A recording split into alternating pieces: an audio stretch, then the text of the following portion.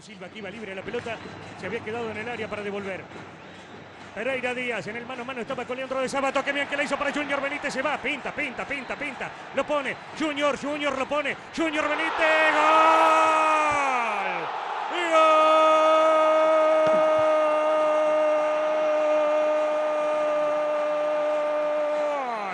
¡Gol! ¡Gol! de la Lanús.